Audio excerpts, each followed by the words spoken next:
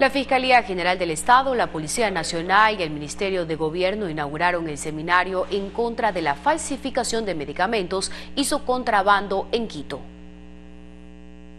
La Fiscalía General del Estado, la Policía Nacional y el Ministerio de Gobierno inauguraron el programa intensivo para combatir la falsificación, comercialización y contrabando de medicamentos adulterados. En los últimos años, según la Fiscalía, se han incautado más de 18 toneladas de medicamentos adulterados. Hay una falta de un marco jurídico. Si no hay una ley que estipule que la falsificación de productos médicos es un delito, yo puedo estar viniendo a Ecuador o puedo estar yendo a Alemania 25 veces que no va a servir absolutamente de nada. Esto no solamente es un delito, sino también un problema de salud pública y por lo cual los diferentes entes del gobierno actúan de forma coordinada para evitar este tipo de ilícitos que atentan contra la salud e integridad de la ciudadanía.